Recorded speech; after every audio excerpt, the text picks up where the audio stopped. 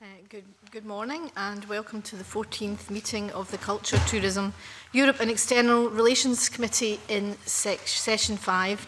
Uh, can I remind members to turn off mobile devices and any members using electronic devices to access committee papers could ensure that please if they were turned to silence.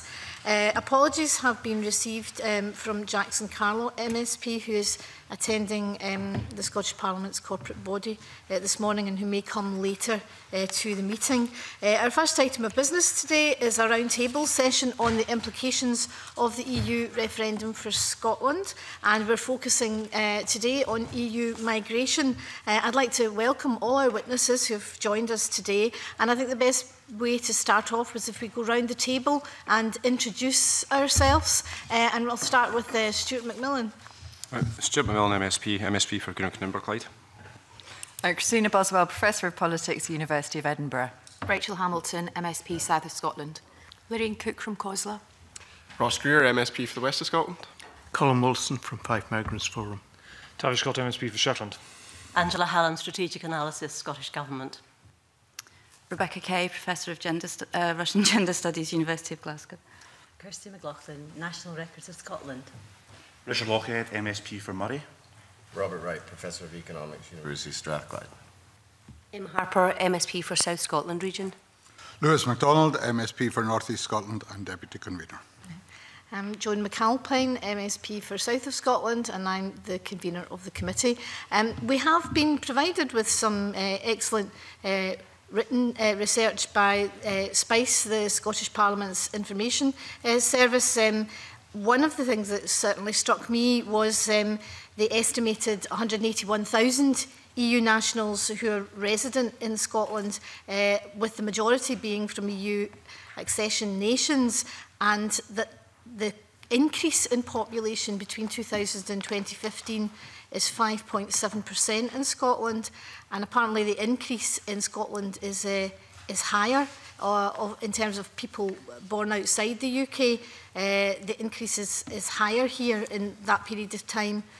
uh, than the rest of the UK. So I think I would like to start off basically asking some of our witnesses to reflect on the impact of that net migration, the impact on Scotland, uh, both the benefits and the challenges of it.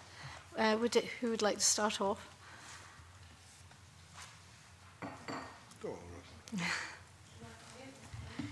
yes. I think in terms of population growth, um, it's very different, as, as Kirsty will tell in much more detail, it's very different across different local authority areas. Um, and in terms of attracting people to local areas, population growth is um, a huge issue for some local authorities, N not so much for other local authorities, but we looked at um, the last single outcome agreements um, and looked at every local authority's single outcome agreement and just under half had um, population growth as one of their key outcomes. So it is um, hugely important to local authorities and it's recognised that migration is um, a key factor within that. Professor Wright. I think we have to sort of state some facts to begin with, right? Um, if you look at the population growth in Scotland, it's not immigration or net migration that's driving it. What drives population growth is fertility. Fertility is below replacement level, has been so for four and a half decades. The Scottish population will not grow much in the future and will not grow rapidly. However, where the immigration comes in is particularly important is that immigrants tend to be younger, and therefore they are more so in the uh, childbearing age group. So this is why we see kind of high fertility amongst immigrants, basically because they're younger. And also, this is what grows the labor force. And this is the key. And this has always been the key since Jack McConnell said you need to grow the population to grow the labor force. Because without a growing labor force with the appropriate skills, then you won't get the economic growth that pushes our standard of living up and has done so uh, for almost all of this century. So the, I, I think this discussion of population growth and whether the population of Scotland is going to grow rapidly or slowly or whatever is not the central issue, and it's certainly not an issue that you know focuses the intentions or, or sort of interests on the importance of migration to grow the labor force and the implications for Brexit, where if it goes through in one the scenario that's most likely, then the free movement of people from these A8 countries will be stopped. And you know, we've got all the numbers from Kirsty, how many people are in those age groups, uh, how many people are in those groups, and their impact on the labor, for, labor force growth. And this is the key question. What do you do? You need these people to grow the labor force. Basically, the channel will be closed. Then how do you get these people if you can't get them the way you used to because you have a referendum to decide to leave the EU? So population growth, to me, is not the issue. Kirsty McLaughlin. um, just to reiterate what um, Robert says, um, it is more the kind of age structure of the population which is going to be affected by um, not having EU migrants. I think I've, I've circulated various charts here, and I think if you look at, um, well, th three and four look at what would happen if there was It's an illustrative projection of what would happen if there was no future EU migration. You know, we did a rough approximation of the proportion of in-migrants that were EU from the EU and then projected for the population. Um, so figure three shows what would happen over the next 10 years and figure four shows over the next 20, 25 years. Um, And as Robert says, the, the impact is really on the kind of younger age group. You know, migrants are, are quite young, working age and children. Um, and it's a much greater impact on Scotland than it is on the rest of the UK. You know, UK have got a sort of younger age profile. We've got a, a lot of baby boomers, fertility's lower. Um, we've all got aging populations, but it's really the kind of the working age population that it seems to be the one that's going to impact the most. Can I just come in there just to say something uh, that, to, to help this discussion along. Now, these, these zero net migration uh, projections are very uh, informative, right? So you can think of them two ways. The door is shut, nobody leaves, nobody comes. Or somehow you can think about the number of people coming equals the number of people leaving, because there's two different scenarios. But don't forget, even you know, if you're Nigel Farage, you want to stop immigration, or somebody wants to stop immigration totally to Scotland, right? It doesn't stop people leaving. So these make the, people will leave, because they're leaving as well as coming. So we can stop people coming because you know if we leave the if we leave the EU, we have an immigration system that will allow that, but it doesn't stop people leaving Scotland. So these are optimistic uh, projections. They say this story is a good story relative to what it will actually likely be if there's big reductions in immigration. Thank you.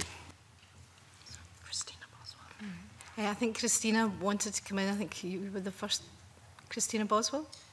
you. I mean, this might potentially be moving the debate on to, to, to policy issues, but I think we've got to premise our discussion on a realistic uh, sense of what the scenarios are, the policy scenarios. So we're talking about this, this um, possible scenario of no future EU immigration in the event of a cessation of um, free movement rights. I find that highly implausible. I think much more likely is that the UK government will find ways, will have to find ways of preserving, um, uh, I think largely preserving to some extent the volume and also the composition of current EU flows. And we can discuss what the policy scenarios are for the UK government to do that. But I don't think anybody, even the most rabid Brexiteers, are suggesting that there will be a cessation of flows of EU nationals to the UK. The question is, what will be the post-Brexit uh, policy scenarios and how might a Scottish government try to influence and shape what those policy scenarios are, what those, those programs are in a way that's most beneficial to Scotland. Um, I mean, I can elaborate on this point, but I just want to inject that, that sort of um, policy factor into the debate. Okay, thank you. Uh, Rebecca Kay. Yeah, I think sort of lead, leading on from that, I understand why a, a kind of Scotland-wide level and a, and a higher policy level, there's interest in um, makeup of the population and workforce issues particularly. And of course, economic factors also are important to migrants themselves.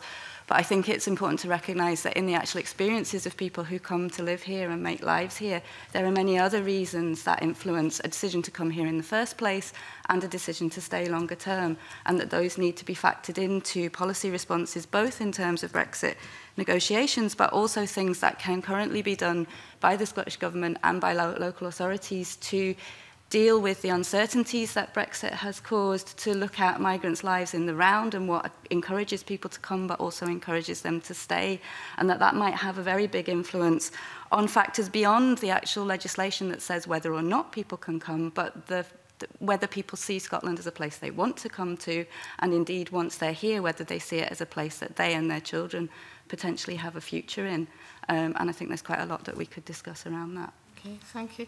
Angela Callum. Um, I just to make a point about what we know about the migrants who are already here. And obviously the best source we've got on that is the census, although now the census data is getting quite old. But um, Scottish Government published a, uh, a report last year on the characteristics of EEA and non-EEA migrants recent and established. And in October, we published uh, a follow-up which extended that to actually compare them with the Scottish-born population and the rest of the UK-born population. And it's very, very clear clear to see that recent EEA migrants in particular are much more likely to be in employment or students. So actually, if we're thinking about what our situation is and how those migrants are uh, adding value to the Scottish economy, I think it's, it's useful to actually start with that in mind. Thank you. And I think we have Lorraine Cook wanted to come in. Um, Can I, I just clarify about um, outcomes and what Robert was saying about population growth? If you unpick these outcomes and, and look at them in more detail, I, I said it very broad brush, but really they're lo looking at working age population and local authorities are acutely aware of their ageing population and the different makeup and demographics within their local areas, but also picking up on um, what Rebecca was saying about um, the importance of, well, the sort of sense of imposed uncertainty that people are living in and the importance of leadership um, and importance of getting that message across. Um, there's been different announcements from chief executives and leaders and of course Scottish Government, the First Minister, but um, just really making sure people know that they are valued um, their their contribution within the, the local area, within the country is valued. Thank you. Now we have the first question from our member um, Rachel Hamilton, MSP. It's actually a point. Um, I agree with uh, what Christine Boswell, Christina Boswell said, um, but it was actually a point because we started off um, looking at how our, our country would be affected if the, the doors had been shut um, from both Professor Wright and, and Kirsty McLachlan Um, but I would like to, um, if you could possibly uh, des describe the graph that you have here about the projected um, needs for um, EU migration um, to enable us to uh, uh, have the population that is required here in Scotland. that's possible. Right. I think is this this is your paper. Yes. yes, um, yes. The we started off by looking at how we would be affected if we, uh, the doors were shut and we didn't have right, yeah. um, EU migrants coming into Scotland. Yeah. Does the first graph um, project what, what the re mi migration requirements are needed? Well, not needed, but you're probably better looking at uh, a number five. Figure five okay. shows the principal projection. Yeah. So this is the projections that were done, the 2014 base projections with um, forgetting about Brexit, and th these are the kind of the ones that have been um, all the assumptions have been tested and um, checked with expert group and um, done ONS carry them out on our behalf. So the principal projection is the one that we reckon is the the one that we put most weight on, I suppose. We produce variant projections as well, uh, high fertility, low fertility um, high mortality, low mortality, high migration, low migration. So there's lots of variance just to show how uncertain it is the further into the future you go. Um, so the kind of lighter green blobs, the um, bars there, are what we published earlier in the year before Brexit. This is what our projections would be. Um, and it compares, if look at, well, just looking at the total population one there, we're projecting that for the UK as a whole, total population would grow by 15% and in Scotland it would be 7%. Um, and then we also show England, Northern Ireland and Wales. So most of the UK growth is, is from England, the 17%. But that does vary quite a lot, you know, in the age structure. Um, all, all the different countries in the UK under pensioners, we're all projected to age. the, the life expectancy is increasing, so there's going to be more pensioners where the difference really is, I think, is looking at in the number of children under the principal projection and the working age. So under the principal projection for the children, Scotland's projected to increase the number of children by 1%, whereas you know, England's 10%, the UK as a whole is 9%. So there's quite a big difference in the number of children. Um, and then the working age population um, Scotland's working age population is projected to increase by 1% over the next 25 years, whereas England's would be 13% and the UK as a whole would be 11%. So it's really this kind of balance that the age structure that um, is different, you know, before Brexit came along, that, that's what we were projecting. Thank you. So. Professor Wright wanted to come in. Yeah, I just want you know, the, the, understanding of these kind of population dynamics is, is rather complicated, right? So let me try to think about this and answer this question personally in a different way, right? You look at the situation that we have the most recent data for last year, right? There was 85,000 immigrants coming to Scotland, according to these estimates, right? 47,000, 55% came from the rest of the UK, right? So we have no control over that, right? Let's become an independent country, okay? So you don't have to worry about these people because and 37,000, let's call it 40,000, came from the rest of the world, of half of that figure came from the UK, right? Or from the EU. So you're looking at kind of 25%. You're going to be missing 25% if the door is shut. Now, what, I, I agree with Christine, but I don't agree totally because it's not so difficult. You, if you look at what the people from the EU immigrants are actually doing. Most of them are in low-skilled jobs, and the UK immigration system has a low-skilled tier that's never been used, tier three. And all the rhetoric and discussion we're seeing, on, hearing on television and on the, and on the radio is about basically, you know, the system of visas, et cetera. It's just kind of reactivating this tier. And it's not necessarily the case that someone from Poland that would come to work here for two years is going to apply for a tier three visa right? So these low-skilled people under the post-Brexit system with a tier three may be attracting low-skilled people who actually have low skills from somewhere else. And I do not think under the post, in, if this Brexit goes through, that we're going to have a lot of Poles with high levels of education doing low-skilled jobs. I just not, I do not think this is going to happen, and it shouldn't, because basically what you get is a lot of labor market mismatch, right? You get people high skill and low skill, you get a lot of turnover in the labor market, and this is expensive. Labor market turnover is expensive. You want to try to match people, their skills to the job better. And immigration system in Canada does this. The UK copied that with the points-based system, but never used the tier three because they didn't need to, because they got a lot of low-skilled people who are allowed to live because of the EU arrangement, uh, live, work, and stay here because of the EU arrangements.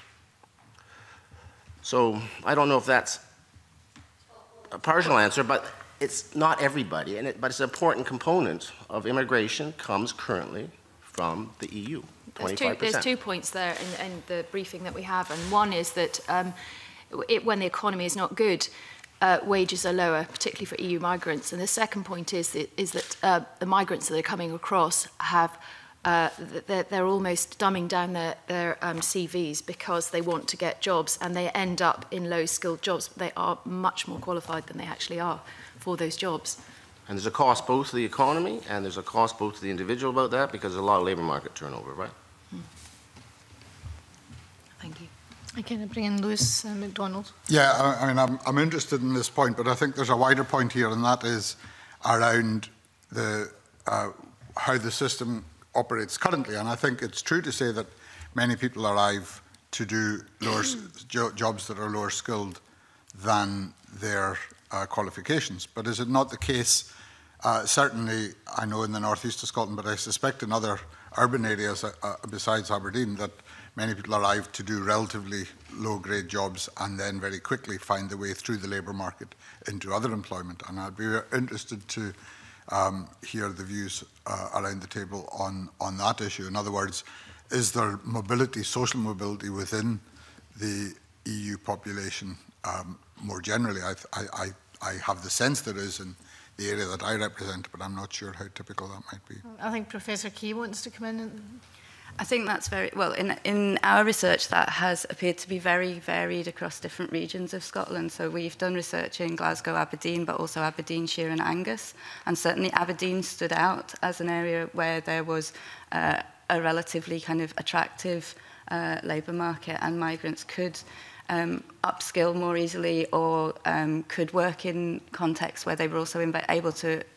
increase their English language skills and therefore put into practice the qualifications and skills they might have brought with them.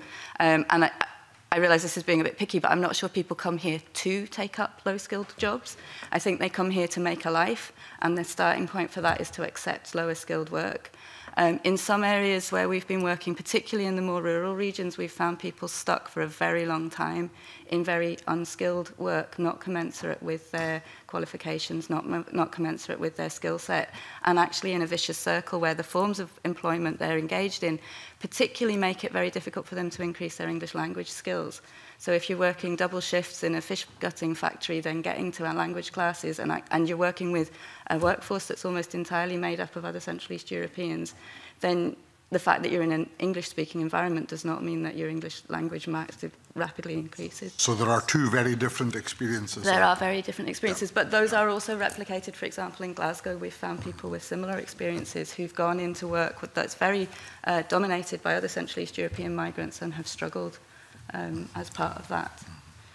I see Mr Wilson from Fife Migrants Forum, you're nodding your head there. Is that something that Yeah, it's, Yeah, uh, that, that's, that's very, very, very true. There's no stereotypical migrant coming into Scotland. Uh, they, they come in for various and numerous reasons. Uh, I mean, I mean, sometimes it's as simple as somebody comes over to spend a few weeks with a friend and decides they like what they see and, and, uh, and would maybe start in a low-paid job.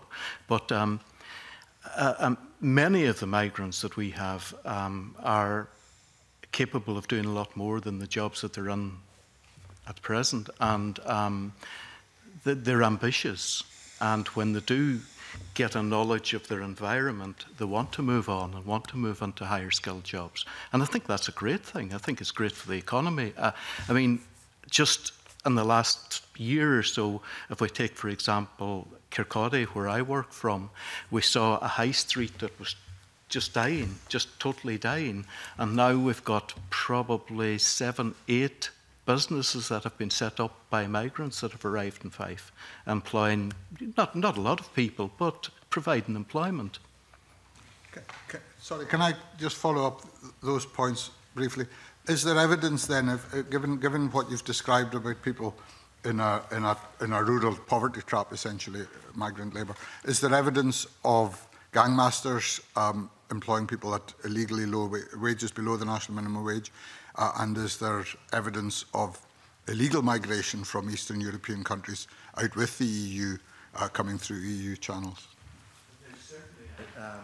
evidence of gangmasters, and um, we've had a few cases recently of this being um, organised from one of the East European countries, um, and um, providing employers with low-paid low paid employees and exploiting those employees. Um, we've seen evidence of um, wages being paid or not paid through European banks to workers. Um, I, I mean, it's, it, it seems to be more prevalent at the moment than it has been for a while. And, and illegally so. In, illegally, in, yeah. Illegally, mm -hmm. yeah. Is, um, we've, we've looked less at questions about gangmasters or um, illegal uh, migration or irregular migration status, but certainly we've found a huge variance in the ways in which employers uh, treat their workers and that that has an enormous knock-on effect for people's ability including to progress. Um, so for migrants themselves, uh, working on a farm where somebody's paying wages irregularly, providing very low standard accommodation, not facilitating transport within a region where public transport might be difficult, is very different from the experience of someone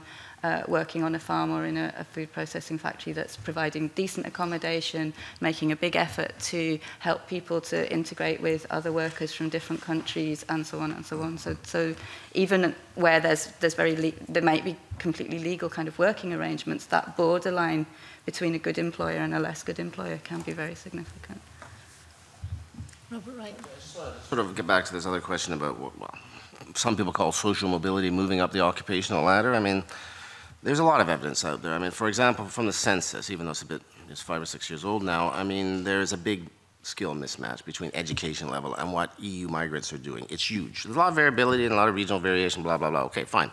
But that is kind of just numbers, and that can be commented on. The other thing is um, there's very little evidence that there's significant social mobility amongst this group. In fact, if you look at Ireland, that have done a lot of research in this area, there isn't any hardly at all, and a lot of people return to where they come, uh, the country they came from because of this. And this, of course, was was the, was a, lot, a choice of a lot of EU migrants in Ireland with the recession when it hit really hard there, right?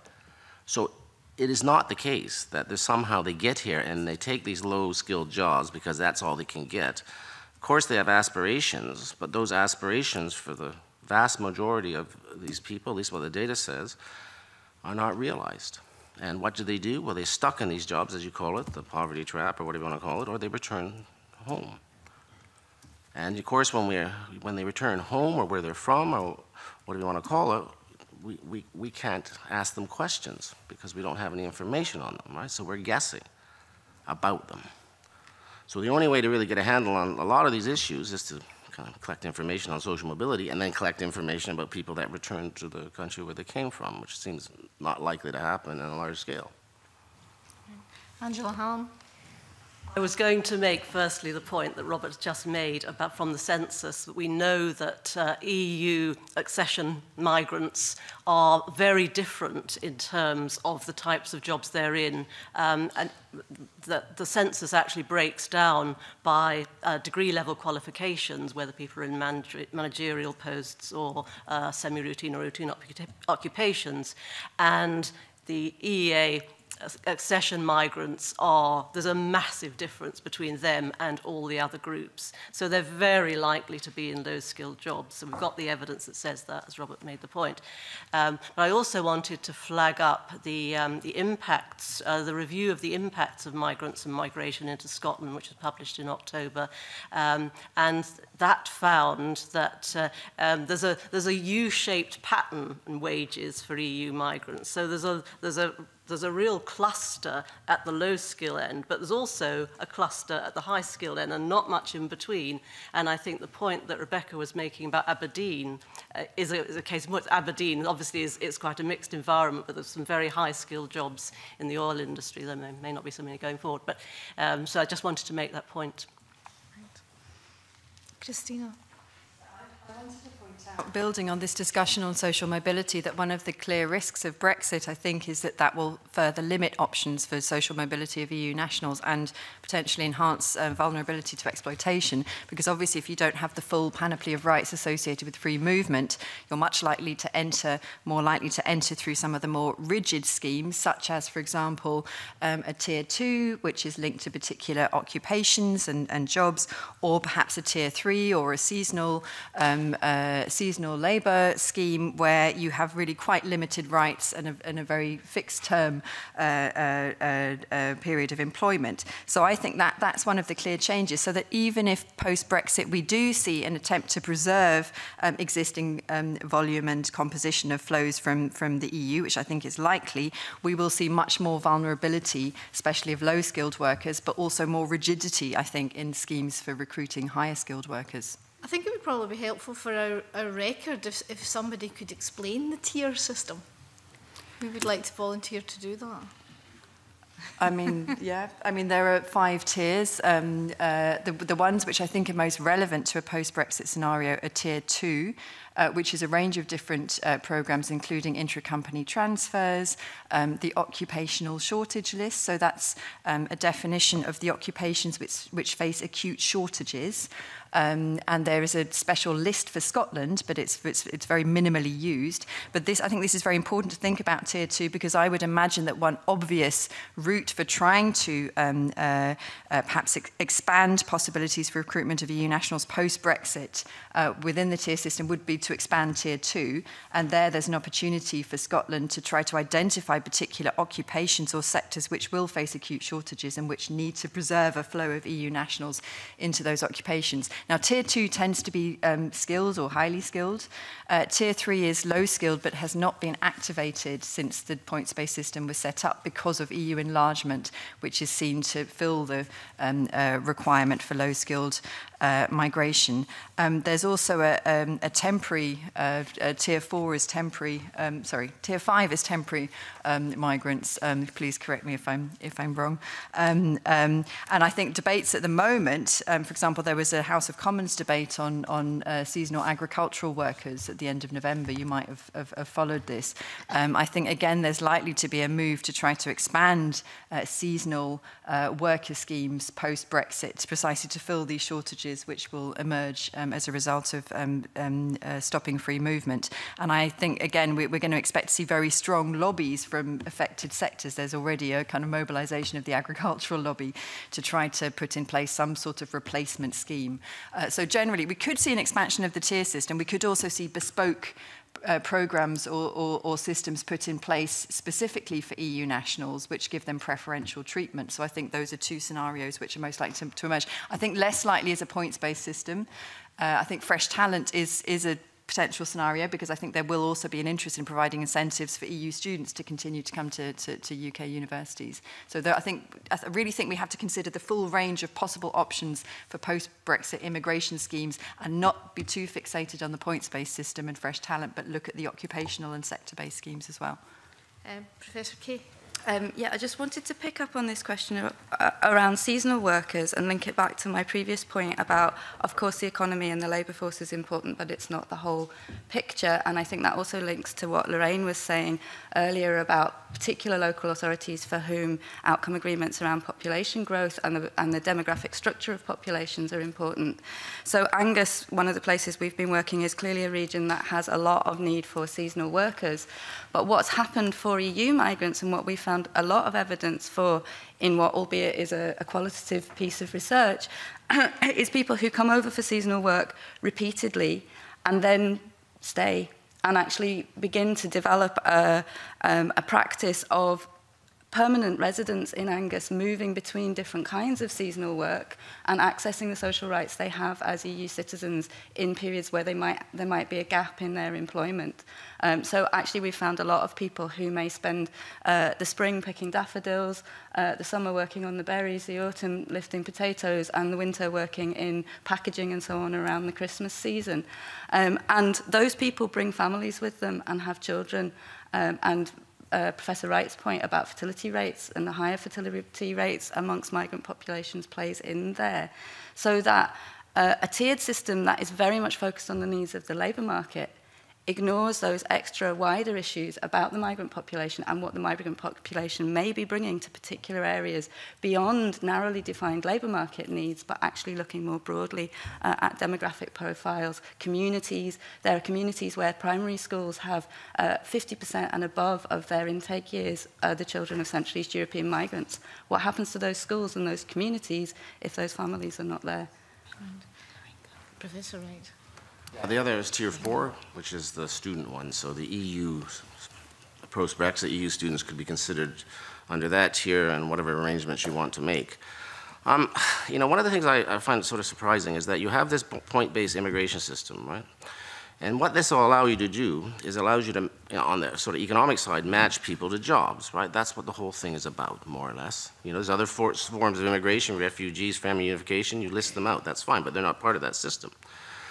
Um, but why do you? Why is why is everybody so concerned that you know in, in the future it may not be someone from Poland doing these low-skilled jobs. It may be somebody from Indonesia. It may be somebody from somewhere else. It should be the best person that has the appropriate skills to do that job. So post-Brexit, I, I hate to say this, may give you an opportunity to put in a more rational immigration system that does a better job of matching people to jobs and reduce job turnover.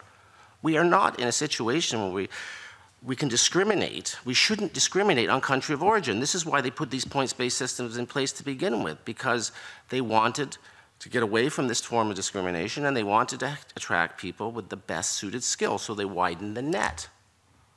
So it's, it's about what, I don't agree with Christine. I think these, uh, in the future, whatever system's in place, it will stop this high-skilled immigration from A8 to, the, to Scotland, to the UK, to take up low-skilled jobs, and so be it. The, you know, the challenge is to say, well, where do we get these people that we need from? And what, how are we going to do this in a country like Scotland that has no say in immigration policy, but we have a points-based system in place? And, uh, you know, I, I, think that's, also, that's a challenge and it's also an opportunity. And, um, you know, the current system we've got a little bit lazy about because we don't know how to do anything, right? It's because people would Note that these jobs are there and they would show up and you know, they have very high skills, English language mainly, lot, largely, and uh, we just continue on. And we've taken this for granted, and now we have, to, we have to think about what we're going to do if that's not available. Lorraine Cook. I think our, our fear is um, around the points-based system is it, it's, it's a system that's focused on restriction and reducing migration. I mean, that, that, that is its, its, its primary focus. And our, our issue has been the lack of flexibility. So, um, I mean, we've got a lot of different examples of points-based systems in Canada, for example, but in the UK, it doesn't seem to have. Yes, we have the Scottish shortage list, and as Christina says, I think there's a, a couple of occupations on it, um, but we, we have that lack of flexibility to reflect Scotland's needs um, and local areas' needs. So that would be, be, be our issue. And in terms of um, a system that is, is creating more barriers, if you like. So if we look at the, the shortage occupation list, and the bar has been has rose throughout throughout the years. So we look at um, social care. So before there was social care on it, but, but um, qualifications and such like um, salary scales have, have risen. So that has come out of the, um, tier two. So that would be our issue in terms of that lack of flexibility and that focus on reduction um, and reducing migration in general. But going back to um, Becca's point as well about them. Um, the importance of the wider benefits that people bring bring with them. We um, were responding to the Migration Advisory Committee and it was about impact on services. That, that was what their inquiry was about. And we sent out to local authorities and I have to say it was overwhelmingly um, positive. There was, there, there are some English as additional language in schools. There are, there are obviously some issues. I'm not saying there's not, but there was a lot of um, the feedback we were getting was about the benefits that people were bringing with them. And in terms of um, the example Becca gave about um, small schools that are that are that remain open um, because of migrant families. We have another question from Stuart McMillan. It's, um, it's some of the latter comments, but it's, the question's mainly aimed to Professor Wright uh, eh, with, uh, e, with your, your comments a few moments ago. Um, do you do you think that there's a uh, there's a possibility that uh, certainly post Brexit within the UK that uh, that there could be or should be um, a differentiation in terms of uh, immigration policy then? you said this, you know, so yes, of course. I mean, it's, you know, you can have shared responsibility for immigration. I mean, Australia, Canada have had this for decades, right? It's a matter of just political agreement, not technology, right? So again, I, but I don't, I don't see the probability of that happening increasing or decreasing with Brexit because this has been clearly stated just the other day. This is not going to happen, right? And uh, let's not get uh, too carried away with this occupation list that Christine mentioned, and she's correct, because it's out of date as soon as it's published. It's just a you know, distraction away from the real issues of how do we attract the people that we need. I mean, we know who they are. Uh, we don't need a list to read from. But uh, again, no, I don't, I don't think this changes anything with respect to the Scottish situation, with respect to having further responsibility about immigration. It's just that means that we have to pay more attention to how to plug the gap that I think, is going to result when the door is shut to the rest of the EU. Sorry, but I, I, I, I have a different view of this. I think that um, it's inevitable that UK immigration policy will be in flux in the context of Brexit. Something is going to have to change, whether it's an expansion of the existing points-based system or new bespoke programs. And the reason I emphasize occupational or sectoral shortages is not because I think this is a, a wonderful, you know, ideal scenario of immigration policy. It's very rigid and it's, it, it doesn't take into account the wider set of factors that, that are of concern in the Scottish uh, uh, policy-making context. I, I'm, I, I, but it's a more pragmatic consideration that I suspect, based on the record of the current government and the previous uh, Labour government as well, there is, a, let's say, a fixation with uh, labour market shortages and um, uh, systems which uh, define ne migration needs based on acknowledged shortages in particular occupations or sectors. That's why I think this is an opportunity for the Scottish government to get better data on where those shortages are, so that you know pragmatically in negotiations it can lever, uh, have some leverage to try to secure a more more generous um, uh, uh, uh, uh, model or program which better suits Scottish needs, which would be better than a, a highly restrictive approach, which, which um, substantially reduces EU immigration flows. Angela Hallam. I just wanted to flag up that the Scottish Government is doing work to look in greater depth at uh, the, sect the sectors that, that EU migrants are working in and to get better data, co better coordinated data about that. And obviously, some of that data is quite difficult to get. Quite a lot of data we get through the annual population survey. We've got a lot of census data, and we're digging deeper into that. Um, but obviously, uh, a, key, a key area is agriculture and there's, there's, there's, there's, there's difficulty getting a handle on that, but uh, our colleagues in rural policy are, are, are, investigating agricultural census and they're, they're, they're commissioning more work to actually look at the agricultural sector and get a better grip on the contribution of seasonal migrants. Is that likely to be ready, do you know? Um, I, I can report back to the committee on the research. The research, um, the research I mentioned um, will be starting next year and I, I think it's reporting in 2018, but I can check on that. Um, but the sectoral, better sectoral analysis is going on at the moment. Um, And we have some, we have some annual population survey data, uh, analysis, which I can, I can share with the committee later on.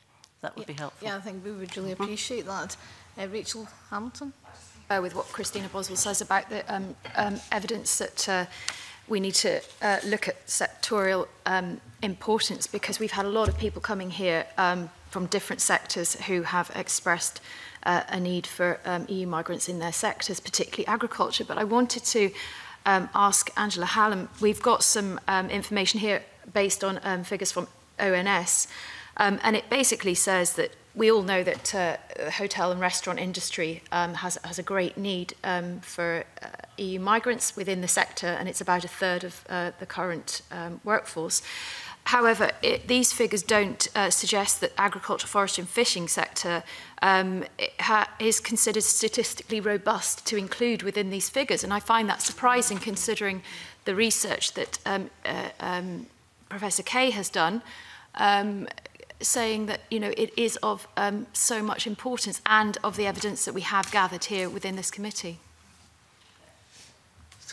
Um, I think obviously there, there, there is a great difficulty getting a handle on the agricultural system because migrants are coming and going and, and, and migrating from, from, from, from job to job as, as the season progresses. Uh, but colleagues in rural actually looked at the agricultural census and which records the number of days that people are doing um, but not the number of actual workers that there are. And their estimate came out as somewhere between 5,000 and 15,000. So that's why, that's why we, we obviously need, need, need better work to actually address this, and that's in Thank hand. You. Robert Wright. Sort of this, um, you need EU migrants for this. I don't understand this statement. You have vacancies. You have jobs that are not being filled by Scottish people or people from the rest of the UK. They need to be filled by somebody. It's not a need for EU migrants, it's a, a need for someone to do the work, right? And that's the way you should think about it. Because I think that in the future, you can't take it for granted that it will be an EU migrant. So you have to think about, well, what can we do to fill that vacancy? not what do we do to keep EU migrants coming to Scotland. It's very different. And this is, you know, I think you have to start thinking these ways if this Brexit thing goes through as, you know, kind of a lot of us believe will. Because that's the problem. The, the work needs to be done by somebody. And domestically, we don't have the people or the people don't want, people don't want to do that work. Professor Key. Uh, just to pick up on that point, and I don't disagree with the fact that it shouldn't in some ways matter to Scotland whether it's Polish people or Indonesian people coming to do the work, but I would like to once again iterate that migrants are more than economic units, and if the Scottish Parliament and the Scottish Government are going to have a joined up policy approach to migration, if we're going down a policy approach that says, well, we use the tier-based system and we bring people from wherever they may be to do the jobs. What do we do with them once they're in the country and what other policies are required to properly accommodate their lives in the round in the country? What does that mean for, for example, the demographic profile of the country? If someone from Poland, because of its proximity, because of transport, because of EU further social rights that have allowed them to bring dependents and family with them have actually embedded in communities, have had an impact on fertility rates, have kept schools open, where someone from Indonesia is much more likely to come as a single worker uh, and not be able to form those sorts of ties, or would be able to, but that would require other policies to be structured around it than just a labour market hmm. That's just not factually correct in a place like the United States or Canada, right? They set the hurdle really high to immigrate, right? So people that want to immigrate you know, commit to go, and they stay. The return on my migration from Canada and the United States is very low because the hurdle's so high to come. Someone from Poland comes for three weeks, is disappointed, and goes home. That's well, no, many people from Poland mm. come for three weeks and stay for ten years. That's right, but thing, it's clearly the case that the, what we know about return migration, you know, is much higher amongst this group than, you know, people that, for example, go from Malaysia and Philippines to work in the health sector in Canada. So that's, the numbers are there, just, so how do we square that with this, with your op- opinion? Um, Malcolm Wilson. I, th- I think why, why um, migration has worked for um, the agriculture, taken for example the agricultural and industry in, in Scotland, is because it's simple. Because a farmer can get the, the employees that he requires for a week, for a month, for a year, It's simple. It's, it, it doesn't take any sort of um, working with governments, working with officialdom or anything like that there. Migrants flow in, flow out. It's, it, it just fills jobs. And if I take, for example, some of the employees in Fife, I mean, they tell me over and over again that their businesses just wouldn't exist if it weren't for migrants.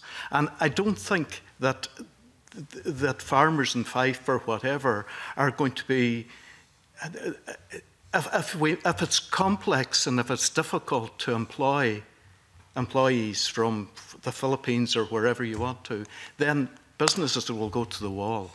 The, it works now because it's simple. That's, that's my view. Mm -hmm. um, Professor Boswell. Just a point about um, uh, the probability or desirability of EU as opposed to other uh, non-EU nationals uh, occupying these temporary or seasonal um, migration needs. I mean, look, the experience in Europe is that it's typical um, for countries to uh, uh, pursue have bilateral agreements with neighbouring countries, and traditionally it's been Central East European countries, North African countries, uh, and so on, to fill um, seasonal temporary labour migration needs. And I, I don't see any reason why that wouldn't be the case. And it has been the case under the SAWS, the Seasonal Agricultural Workers Scheme in the UK, for example. So, I mean, there are many reasons why it's more convenient to have these sorts of agreements with neighbouring countries where there are established patterns of, of pendular or circular migration, established migrant networks, and not least, it might be part of a package of a, of a political, uh, in a political context, um, a package uh, of agreements with countries such as Poland and, and other countries which have been typical sending countries for lower skilled uh, employment. So I see, I, I think that's highly likely to continue that pattern. Uh, whether it's ideal or not from an economic point of view, I think that's likely to continue. Um, Uh, and I, I mean, our, our research that we carried out um, some years ago on Polish and Romanian migration uh, showed how these, these, these mobilities are very pendular, that, that people in a particular locale uh, in countries of origin tend to rely on these forms of uh, temporary migration to sustain local livelihoods, and it's, it's often a kind of family strategy uh, if a member of the family goes and takes up, say, six months uh, seasonal um, agricultural work um, in, in an EU country. I think with high-skilled migration, Commission as well, um, there is a likelihood that we will see similar two-way agreements. For example, I think the UK government will have every interest in, in preserving the possibility of UK nationals to go and work in high-skilled jobs in Germany, for example. And I can imagine that being the object of a bilateral agreement. So I think there are strong political and also economic and cultural reasons why EU migrants may well uh, be the preferred or inevitable sort of um, uh, group which will continue to occupy these, these types of jobs. Angela Hallam. I just wanted to make a point about agriculture. Um, the labour market in general is obviously very subject to the state of the economy, and migrants are a flexible source um, of, of, of, of workers uh, during a strong economy. But when there's a recession, obviously there's, there's, there's fewer jobs around. However, agriculture is a constant and has a constant need for migrants. I'm aware there's a couple of members who haven't had the opportunity to ask a question uh, yet, so I'm going to Richard Lockhead first. Uh, thank you very much, and the evidence so far has been fascinating. And I have to say, however, that I do note the confidence that many of you have that some pragmatic solution will be reached in terms of addressing any gap left by um, EU immigration being um, reduced, given that for me the defining issue, particularly south of the border of the Brexit referendum, was immigration and therefore politics south of the border will no doubt overtake the pragmatism that many of the witnesses today seem to think will be put in place, but we'll, we'll see what happens. I'm really struck by the startling statistics in figure five of the, the paper before us. I'm not sure many people in Scotland appreciate that the projections between 2014 and 2039 show that the number of children are set to increase by 10% in England compared to a reduction of 5% in Scotland. And in terms of working age population, that, that uh, category would increase by 13% in England and go down by 3% in Scotland. Sorry. Uh, Yes, uh, so apologies, the, the increase by 1% yeah. for working age population in Scotland, increased by 13% in England. Yeah. There's no uh, equivalent statistic for reduction post-Brexit for, for England.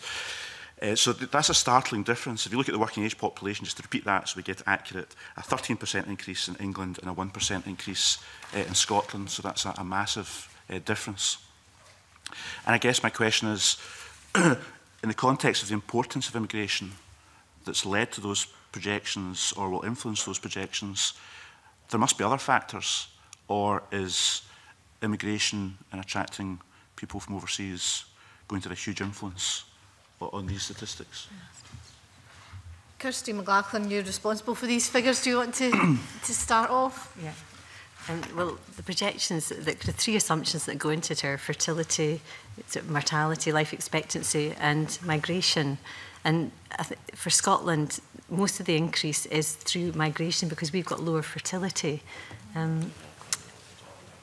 and the age structure of the population, I think England has got a younger age structure. So they're we, we're aging faster in a way than, than they are because we've got a, we seem to have a proportionately more baby boomers, people born in the sort of 50s and 60s. Can I, can I, just, can I just, come in there? Um, yeah, as I said before earlier, this is kind of complicated to, un to understand why these you have these population dynamics. But there is this thing called population momentum. Population change is very slow. Demographic change is very slow. So this, what uh, Richard has highlighted has been known for some time, right? That we're looking, basically the population momentum in Scotland is for decline in population and decline in population growth, but the momentum in the UK is for low growth and much higher growth in younger age groups. But if you look at the older population, say, I'll include myself, 55 and above, right? There's not a big deal of difference between the UK, which is basically England, biggest, and, and Scotland. But where the difference is, is in young people, so if you're you know, in the higher education sector, education sector is in for a bit of a shock, and the expanse one, and the labor force, because the labor force really is only growing in Scotland because you have more workers coming than leaving. The net migration of those people in that age group is positive, so it's critical. Now, how can we say, well, let's just say we're not going to have this opportunity to bring people in in the future, or the, the situation changes now and we don't want to make the more the points-based system more rational or something like this. Well, I mean, the thing is, you can increase participation of people. That's a possibility, right? You still have kind of low participation rates amongst women here compared to many other countries, so that would generate more workers, et cetera. There's lots of other things. You can have a better, you can have education system that moves away from higher education to further education to more skills, and you know, there's lots of other, there's four or five other things you can do besides immigration, but the bottom line here is if research that I've done and most other people that are economists is that without the immigration, it's really going to be tough for these other policies, right, to fill the gap. So it's a multi-pronged approach. But this demography that we're looking at in these diagrams is being determined over four or five decades. It's not going to change. So this is what we're in for, right? So it's known in a way. What isn't known is how much the labor force is going to grow, if at all. Professor Boswell. to respond to the point about um, uh, the scenario of the UK not being able to restrict EU immigration significantly, and that's you know very much based on the experience in 2010. So the current government has been committed to reduce net migration since 2010. What has been the trend for non-EU immigration? A rise um, of net migration. So it has, it, it has rolled out a panoply of measures to try to restrict non-EU immigration since 2010, and has spe spectacularly failed to restrict that immigration. I don't think there's any grounds for thinking it will be better equipped to restrict EU immigration. Um, yeah, liberal democracies find it very difficult to restrict immigration when it's you know beneficial to, to the economy. next question? Yeah. I should for the record say, of course, the projection for children in Scotland to go up by 1% by 2039 compared to 10% for England, and the reduction of 5% projection for children in Scotland is post-Brexit, but there's not a equivalent post-Brexit figure for England, so it would be interesting to, to get that in the future. But my, my follow-up question was going to be many people who voted Leave, for instance, will say that, don't worry, if people are not going to come from Europe to work and live in Scotland, people can come from the rest of the world to live and work in Scotland. And that's a big issue in NHS, for instance, where if you say to people, we rely on EU staff in our hospitals, they'll say, don't worry, those places will be filled by non-EU inward immigration or migration. So it's just to ask, in light of uh, Professor Boswell's comment.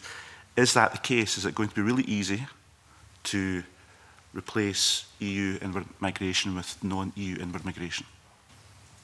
very complex question and would need some unpacking. Uh, I mean, as I've said, I suspect that there will be an attempt to try to preserve um, existing EU flows. I mean, I, it's possible that in the medium to long term, those flows, the supply will, will, will, will actually reduce um, because currently quite a large proportion of EU immigration is from the southern EU countries affected by austerity policies. And I suspect that in the, you know, over the next five to 10 years, actually, um, the level of intra-EU flows is actually going to decline and that we will see a gradual replacement by non-EU EU immigration. Now, whether it's going to be easy to attract um, non-EU EU immigrants to the UK, including Scotland, is a very complex question, and it partly depends on how the Scottish economy is doing, uh, existing networks and communication flows, um, um, as well as obviously how attractive the types of packages that are offered are, um, and what the competition is with other um, uh, economies who are trying to attract similarly skilled migrants. So I think it's, it's very difficult to answer that question um, I, perhaps one of our other colleagues wants to talk about some of the levers that can be put in place to try to attract immigrants to Scotland. There are a number of soft levers. Um, but, I, but I would have thought that the package that's offered, the package of rights and entitlements that's offered as part of a, a migration scheme um, would, would be influential, certainly. The uh, long-term population projections, these are these ones that Kirsty uh, put together. I mean, they assume that uh, international migration will not be, EU migration will be zero in the long term, right? Net migration from the EU countries will be zero. So there's an implicit assumption that these people will come from, immigrants will come from, come, come from somewhere else. Um, so it's kind of built in, but I mean, a person is a person. It doesn't, you know, it doesn't highlight this, but uh, you know, the general view is, and I, you know, I sat on the committee at ONS that set these uh, assumptions for the national projections, and that's what we assumed, right? So we're not, and I, I, think the real issue, I'll just say that I think important issue is a moral issue. And I've said this before, and I'll say it again to this audience, is that should we be going into Poland and stripping out the youngest and the brightest to come and work in Scotland? We are currently in an economic relationship with them, right? These economies are growing, they're aging more rapidly than ours, right? And it's not like they have a surplus of workers. So we are harming and I believe, harming our colleagues that we're supposed to be in an economic relationship with. And think about the, we, according to this, these numbers I have, just, you know, what, 25,000 people, right? The global population is 8.3 billion, right? So the potential supply of immigrants to come to Scotland out there is infinitely inelastic. We need 25,000 people from 8.3 billion. Is that a big challenge? Should we be going into Poland and getting these people, or should we be going farther afield to tap into this huge stock of people that would want to come here, that want to come here? We know that. And the other thing to remember about this uh, change, this, you have controlled, you have managed immigration with the points-based system, and you have unmanaged because of the EU agreements. So the government is trying to reduce net migration by pushing down immigration. You don't know the counterfactual, what happens, what happens if they didn't have that policy in place. And then at the same time, we see immigration from the EU rising. Well, it's hardly surprising. It's like a teeter-totter. You push down one side, the other side goes up. One's controlled, one's not controlled. The only way you're going to reduce immigration and net migration is if you have control of every, all, all, all potential sources of immigrants. But yeah, I don't know why the government said they could do this with that type of system they have in place, and it's failed, as Christine says. Ross Greer, you wanted to come in. Yeah, thanks, convener. Um, we've been quite we're talking so far almost entirely in terms, uh, talking about EU citizens almost entirely in terms of their labor what they can contribute to the economy. But these are individuals whose rights are currently at risk. And I'd be quite interested in knowing, because we've touched on uh, emigration as well as uh, inward migration. Professor uh, Wright was the first to touch on it. be quite interesting hearing from Combe Wilson and anyone else uh, who, who has any evidence of what the feeling is amongst existing EU migrant communities in Scotland, the people who are already here, do many of them e-, expect that they will still be here in the in the coming years, or are people beginning to think that they might want to return either home or to one of the any of the EU 27 countries? think I think the beauty about uh, uh you know that uh, the European Union is that we stop talking talking about national borders and we start looking at people and you know the beauty is this flow and ebb of, of, of migrants and people from all different cultures um, mixing with one another and, and, and, and enjoying one another's company. And that's been one of the great things about Scotland, that these people uh, from, from the rest of Europe feel that they're They're being accepted here. I was down in, in, in Manchester recently. I mean, the mood down there is totally different. There's a fear with, with amongst migrants and the rest of the UK.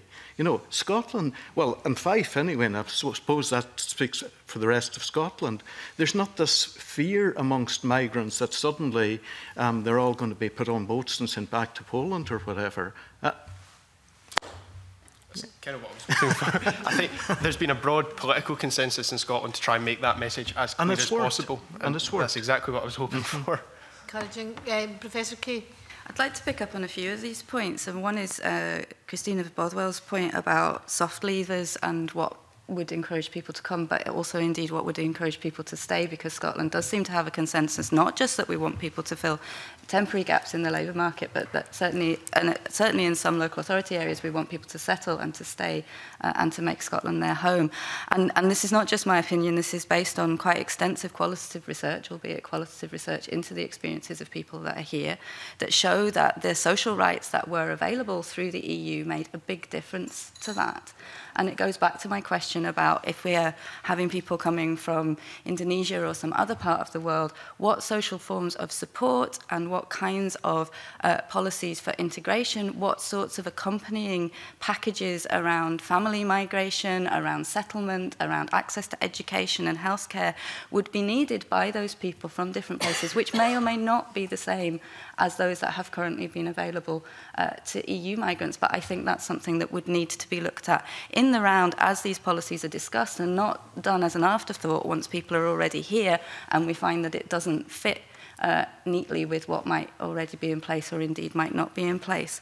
Um, to pick up on the, the point about the intentions of EU migrants who are currently here, and I would certainly agree that many people um, have been positively um, influenced by the political leadership within Scotland, by the different message that is being given in Scotland. I do think there's an importance to avoid complacency in Scotland, that this is simply a better place for people to be. Actually, many Scottish uh, areas have a much more recent experience of multiple, multicultural, diverse communities within them, which lower some of the um, community level interactions and community level networks that people can access uh, when they're living in Scottish places. Certainly there's not been the spike in hate crime reported, but anecdotally people have reported discomfort, problems, problems for their children at school, uh, albeit at a much lower level. I think the other thing to bear in mind is this assumption about whether people will or won't go home is not as straightforward as that. So for many people, the path home is not an easy one. If you've lived in Scotland for the last five to six, seven, eight years, you have perhaps a Scottish partner, you have a child maybe born in Scotland, whether or not they're with a Scottish partner or, or another Polish partner, you have no property uh, left available to you in a Central East European country. That economy is not an easy one to go back into. So people may remain without necessarily feeling particularly comfortable uh, about remaining. And the repercussions of the loss of their social lives uh, social rights are likely to play out at local authority level rather than necessarily at, at, at national level. So I think there's a whole um, sort of mosaic a maze of policy making and, and of, of policy actors that need to be involved in looking at these potential outcomes and thinking about what they will actually be. And I would very much pick up on, on Rosgrier's point about treating people as people uh, and not as economic units in order to understand that policy uh, landscape. There's quite a evidence out there on people's intentions to stay or not stay. you know, and that's and it's very soon. Yeah, I know, I know it doesn't matter, but it's always there's very low low reporting of people um, that stay for a long time. And you know, oh, there's other countries that have policies in place that kind of answer, that respond to some of your issues. So we just have to learn from the experience of others. And uh, you know, I mean, I think it's an exaggeration to say that Scotland is more positive. I just think they're less negative than the rest of the UK. If you look at these surveys and stuff, it's you know, they're all sort of below 50%, but they're just higher than usually what's reported in England. So saying that, you know, this is a country that is really positive towards immigration with the man and woman on the street, I think is a major exaggeration. It's still negative, but less negative than other parts of the UK. Emma Harper. In my previous background, I was an economic migrant in California, working with nurses, doctors from South America, Africa, Indonesia, whatever. You know, so obviously the um, post-Brexit, there needs to be an immigration policy that needs to be changed so that we can accommodate skilled people, which are you know, people from all over the world, for our older population. And we need GPs, we need nurses, we need carers. So I'm interested in clarity on what tier do they come under or what has to happen post-Brexit to, I guess, address our immigration. What does it need to look like? Professor Boswell. I mean, in the case of health professionals, it could come under an expanded occupational shortage list under Tier 2, as we've discussed. Um, or one could imagine learning from other countries such as, I mean, there's the example of, for example, sectoral-based schemes where you identify particular sectors or occupations as particularly in need of labour, and then you allow people with the relevant qualifications to enter the country and seek work within that sector. For example, the, the German green card scheme of 2000, where um, an SPD Green government um, decided to expand opportunities for ICT specialists coming to Germany. And they had to show that they had particular qualifications and then they could look for work on the German labour market. Now, that kind of scheme is a bit more flexible than a, um, occupational shortage type scheme where you, you have to have a particular job offer. Okay, so there's, there's a type of scheme where uh, the employer um, uh, has to meet certain criteria, i.e. this is an occupation which has been identified as facing acute shortages and then is able to recruit from overseas for a specific job. And then there's a more flexible system where you say people in this sector or this occupation can come here to look for, can have a permit to look for work um, in this sector. So those are two possible ways of trying to address um, sectoral shortages. Obviously, you also have more flexible, and the spectrum of flexibility, the most flexible you can have is a human capital-based system where you simply say, and this is more similar to the Canadian Australian points-based system, where you say, if you have accrue a certain number of points based on your qualifications or your other, other sorts of characteristics associated with your human capital, uh, then you can simply enter and look for any job. And I think the risks of those is that it is more susceptible to de-skilling. Um, and then there are also issues around whether you can have a devolved arrangement for any of these systems, and that raises various issues around retention um, and whether once people have stayed for a certain period of time and have accrued permanent residency rights, for example, whether there's a concern that then they would leave and relocate to other parts of the country and so on. But there, there are a range of options that, that could be explored, and I do think they need to be explored, yes. I wonder if I could just pick up on that point when we took evidence in the committee a few weeks ago from the Secretary of State for Scotland, David Mundell. He touched on the issue of different immigration needs in different parts of the country. He didn't suggest that Scotland would have its own immigration system, but he did acknowledge that different parts of the country had different immigration needs. Um, it, would it be possible to design a system for Scotland without it being an independent country?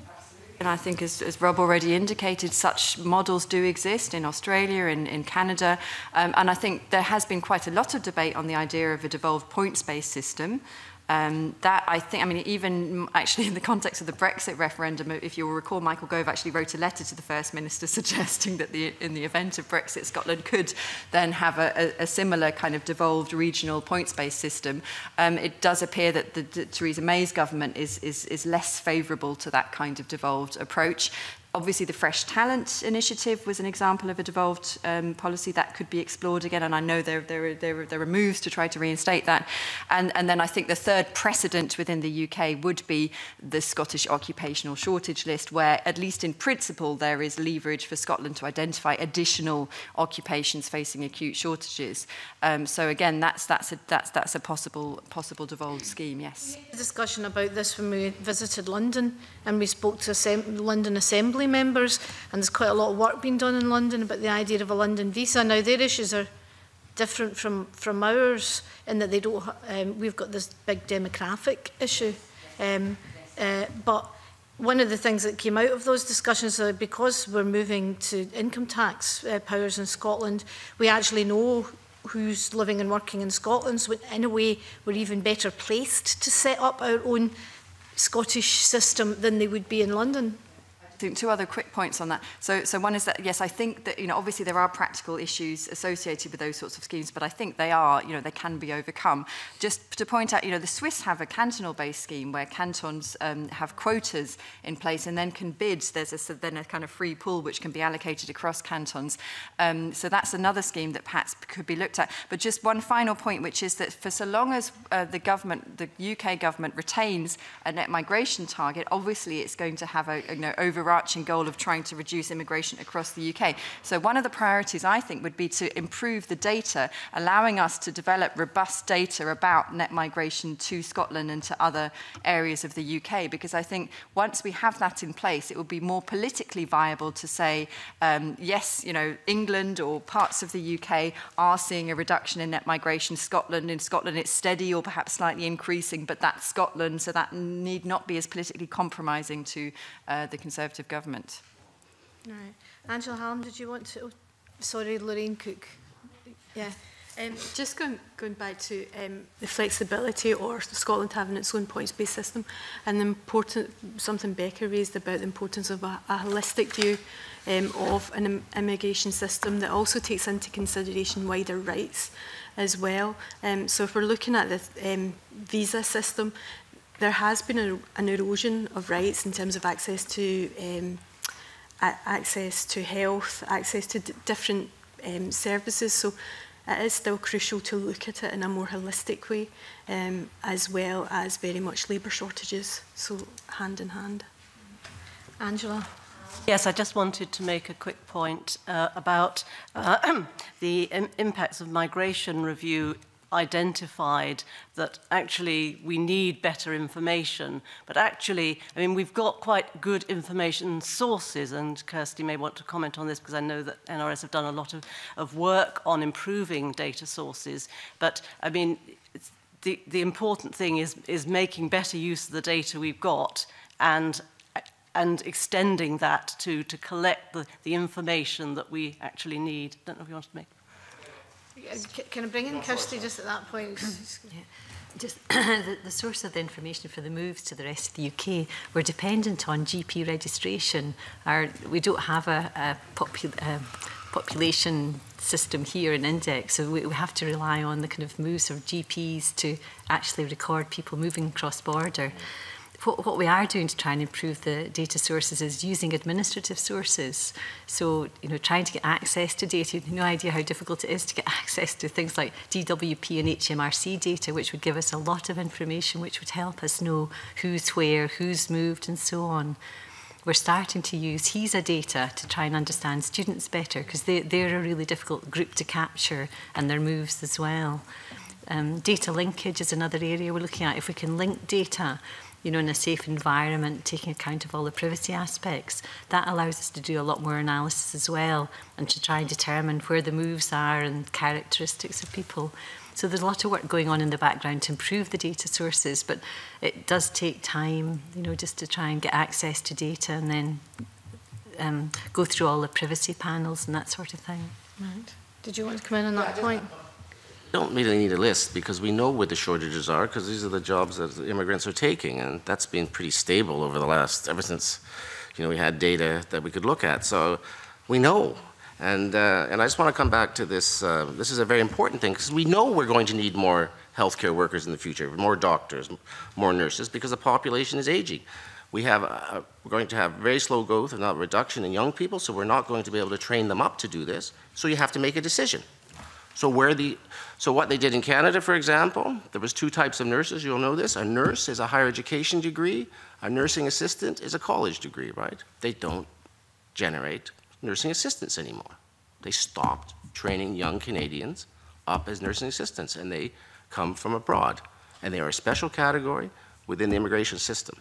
So it's if you have a shortage, you, the hospitals indicate this, and then the immigration system reacts and that's, you know, those are, that's a political decision about what you're going to teach young people.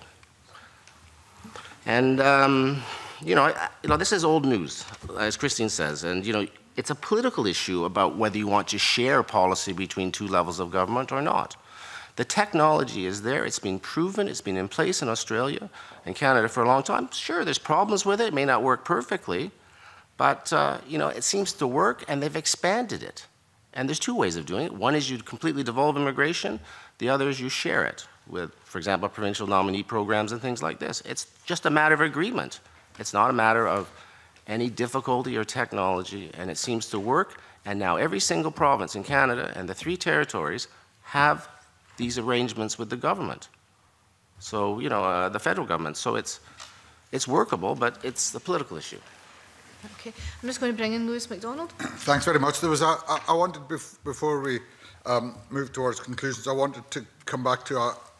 a, a wider question around migration from the European Union because we've talked a lot about Poland uh, and Polish workers quite rightly because they are by far the largest group. But if you take Polish workers out of the picture, then, then there are twice as many people from the original or from the EU 14 as there are from the other accession countries. And uh, Christina Boswell made a brief reference to um, migrants from southern Europe uh, um, uh, as a result of austerity policies in, in, in, those countries. But I wonder if there's anything else we should understand about what's clearly quite a substantial part of the migrant population, which is not coming from um, Central and Eastern Europe and, and, and uh, is, uh, appears from the facts that have been put in front of us to have a different pattern of qualification and employment from uh, the, the, the, the, the Polish example that we've been talking about. I wonder if there's anyone would want to say anything about that population.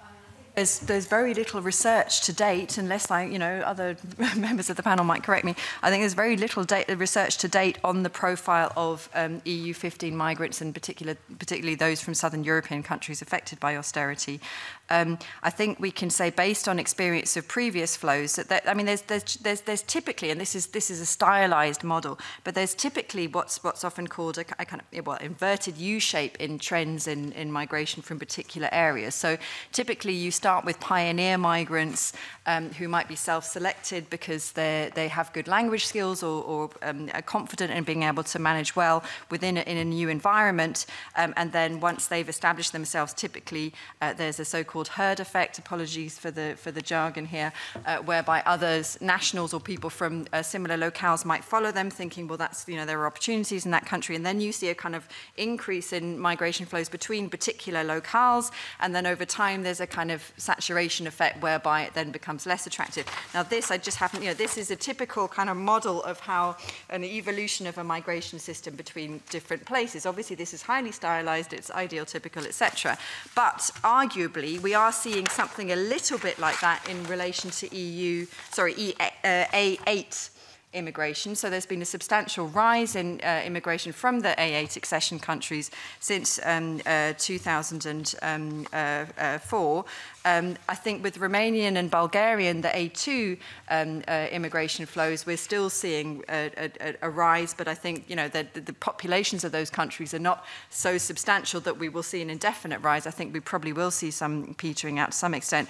And with the with the uh, southern European countries, that now comprises about half of all EU immigration flows to the UK, so that's quite substantial. It might well rise in the next few years, but then over the longer term, I think uh, we can assume that as those economies pick up uh, in the next five to 10 years, again, we will see an ebbing of that flow of migration. And I suspect that, you know, within the next, uh, you know, 10 or so years, we will see a return of levels of intra-EU migration to, um, uh, uh, in a sense, normality. So EU mobility, freedom of movement, was never intended to comprise substantial flows from poorer to richer richer regions. It was meant to be a kind of partnership of, broadly speaking, of equals where income disparities were not significant enough to generate large-scale flows. And I suspect we will eventually return to that kind of uh, scenario. Um, but for the moment, I do think you know e the EU15, uh, especially those from southern countries, are likely to remain a significant um, portion of immigration to the UK. But that's that's very general terms, and I, there, there may well be empirical research which uh, would could uh, underpin some of these general claims. Angela Hallam. Um, I just wanted to stress that the impacts review, which looked at the impacts of migra migrants and migration, found that all, almost all the recent evidence is on the, accession, the migrants from the accession countries.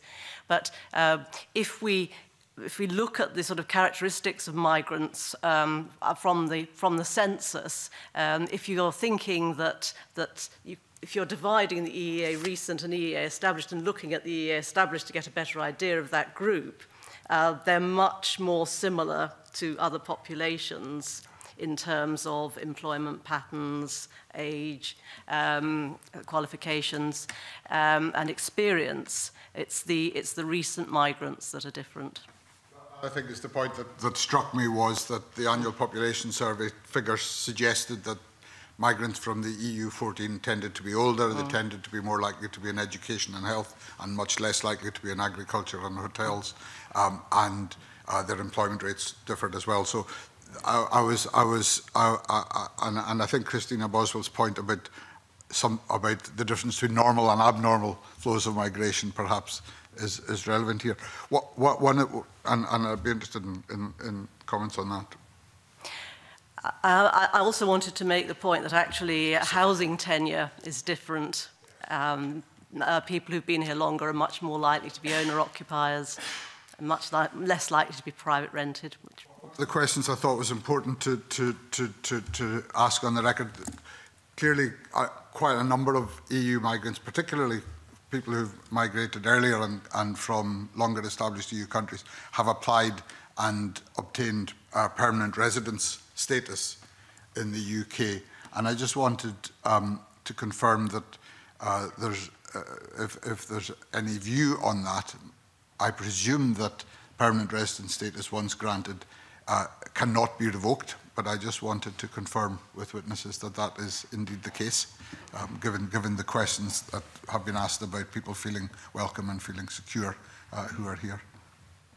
we haven't seen a great rush for people applying for permanent residency. Mm.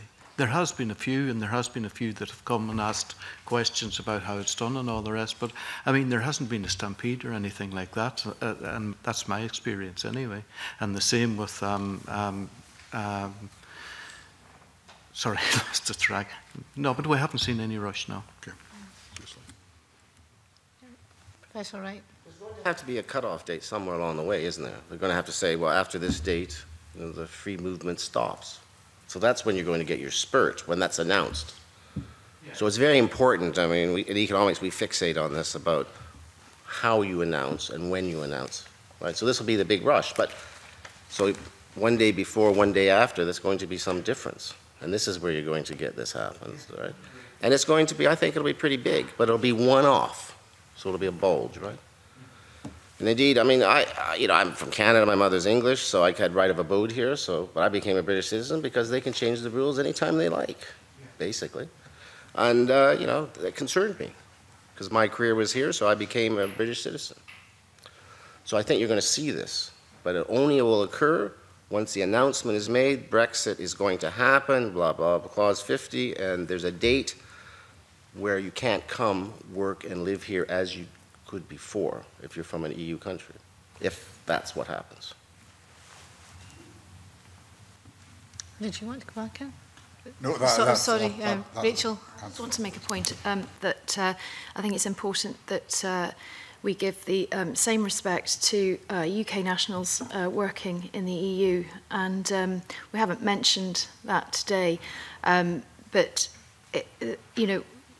their acquired rights are just as important as um, anyone that's coming here, and it hasn't been mentioned today. So it was sort of, I wondered if anyone wanted to make a, a comment on, on that point.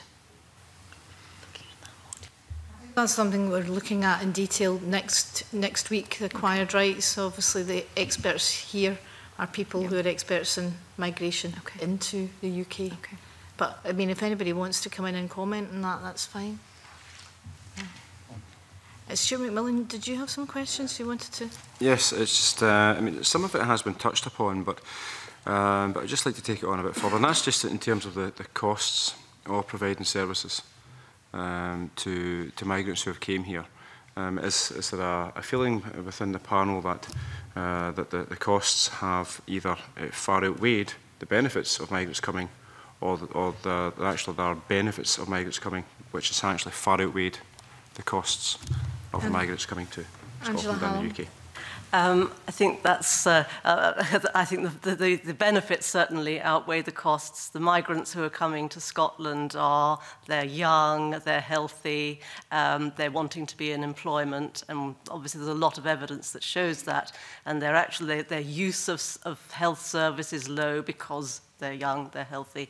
Um, I mean, I think evidence suggests that the longer that they stay in Scotland, the more likely they are to become more like the Scottish population and in terms of public health um, as their eating habits and uh, use of alcohol changes there may be but but certainly they're they're young they're taking jobs um, they're they're integrating and they're, they're, then uh, there's a, quite a lot of evidence that they're not a strain on public services. I mean, obviously, the, the education services are needing to change to adapt to, to language language provision in schools and there's some evidence on that but there's there's no there's no there's no link uh, there's no clear link between migration and crime for example um so So yes, the, the, the benefits certainly outweigh the costs. There's, there's very good evidence for that, and I think all my colleagues would agree. Lorraine Cook from COSLA. I would have to say the feedback we are getting from local authorities, I, I would agree with um, Angela very much.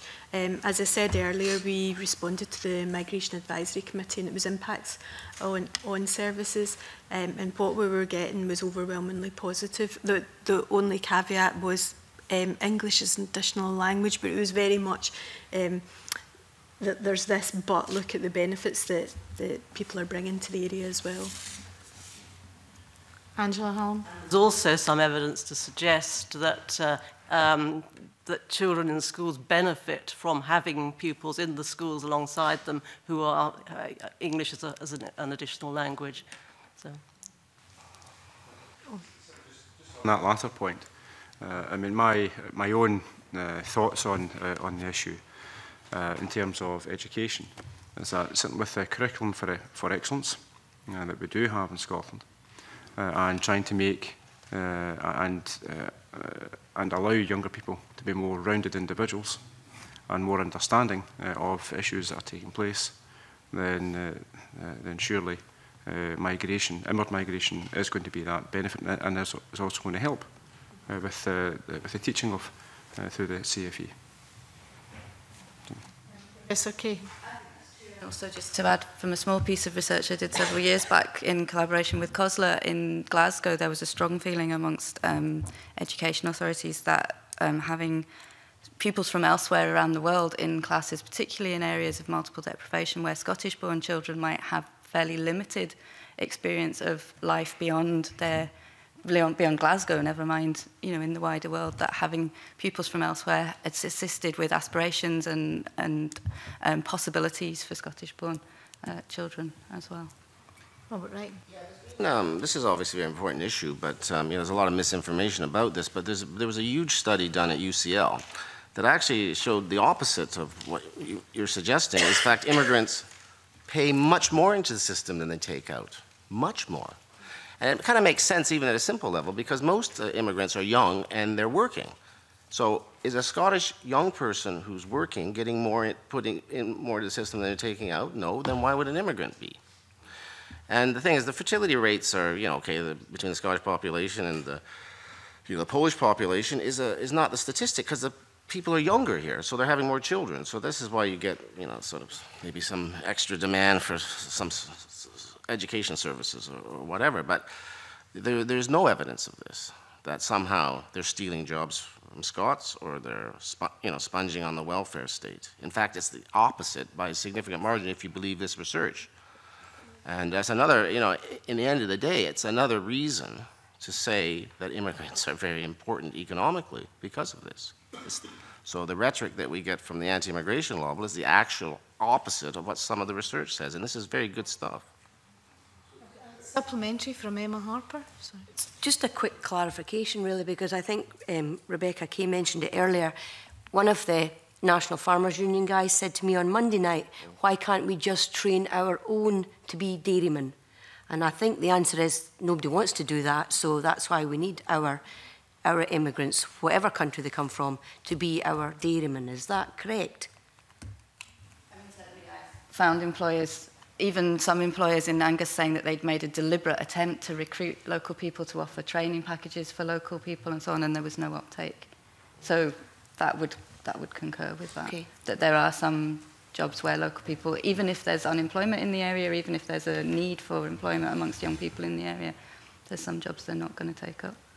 Okay, thanks.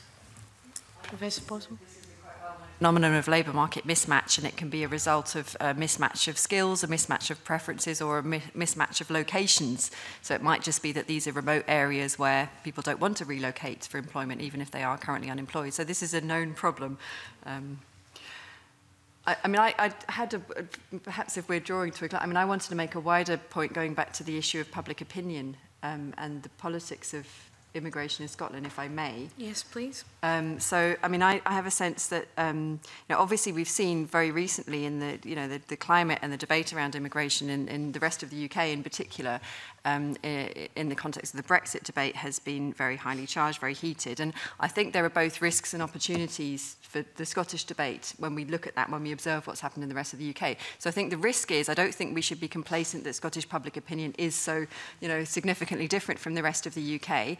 Um, and, I, and I think, you know, in the event of uh, a Scottish government making a case for a slightly distinct or perhaps more liberal approach from then the rest of the UK, there are risks that immigration could become become more politically salient in Scotland than it is at the moment. And there's also the, the, the, the, the permanent risk that it could be an object of party political mobilisation. So, a, you know, we know that there, there is a constant temptation for uh, centre-right and populist-right parties to mobilise on anti-immigrant um, platforms. So I, I think, you know, that could be a scenario in Scotland. And I, and I think we have to think seriously about how we can engender, foster a more responsible and well-informed debate on immigration in in Scotland. And I think one uh, part of that has to be trying to secure some kind of buy-in across the political spectrum in Scotland for a shared and progressive vision on immigration in Scotland and one that's informed by evidence about immigration, and I know there is a kind of anti-expert, uh, post-truth kind of um, uh, dynamic at the moment in the context of immigration debates, and we have to think very carefully about that. But I do think there's a real opportunity right now, there's a window of opportunity for Scotland to do things differently and to have a more progressive, informed and open debate on this issue. Um, comments and you're nodding at that. Yeah, I mean, I feel that what you're saying is happening now. That's where we are. That's why we feel. That's why the feeling is out there from migrants that Scotland is a good place to be because of the, you know, we're not anti-immigrant. We're, we, we have the open debate about it and we, um, we always um, um, talk about the positive aspects of migration rather than the, the, the negatives. Uh, Professor Kay? I would agree with that, but I think that to, to, to pick up on what Christina's saying, to me it seems there's a really important need to have that informed, evidence-based, progressive, popular debate with the settled population. So there's the political leadership, and migrants look to that and see that. There are, we can't ignore the fact that there are large numbers of people within the Scottish population that don't necessarily share those progressive views, don't necessarily express them on a day-to-day -day basis in their interactions uh, with migrants, and that that could shift quite quickly research at the moment in education and Five, Five Migrants Forum. And um, one of the things that we're seeing is that in schools where there's a large migrant population, there seems to be a tipping point mm. in which uh, mainstream parents feel that the ethos and culture of the school has been taken away from them. Mm -hmm. And I think this is, this is something that we've mm -hmm. got to be very, very careful about. Mm -hmm. And as somebody said to me about migration as a whole, hasn't, and, and other parts of the UK, has reached that tipping point, and that's why you see much more negative negativity in the rest of the UK. Scotland, for the most part, hasn't reached that tipping point yet. Mm. So I, I think we've got to be very, very careful and just watch what we're doing and, mm. and, and and sort of carry on as we are. Yeah. But I think, yeah, I think that would fit precisely into the idea of this, this being a moment of opportunity because that doesn't, it doesn't have to be a tipping point. And I don't think it always is a tipping point in other parts of the UK. I think if you look at London and the way that it has acted as an exception, where London has the highest possible levels of migration, diversity, and so on, and that it's often in the neighbouring regions where there's lower levels of migration that people are most prone to believe anti migration rhetoric, then that's also a danger for Scotland that we actually have regions with a relatively low number of migrants, a relatively low lived experience of what that means, but vulnerable to the negative discourses that say they're going to come, they're going to come, and, and this is what will be the outcomes of that. Angela Hallam. Yes, I just wanted to echo what everyone's been saying about um, about this, this time being one of opportunity, um, but the, the, the caveat that we, we do need to we do need to remember that attitudes are not fixed and that they can change really quickly, and we, we should avoid complacency. I mean, there is some evidence that greater exposure to migrants actually increases tolerance and understanding, but if people feel overwhelmed, you've got a very fine line there. So think that's a good point to end on.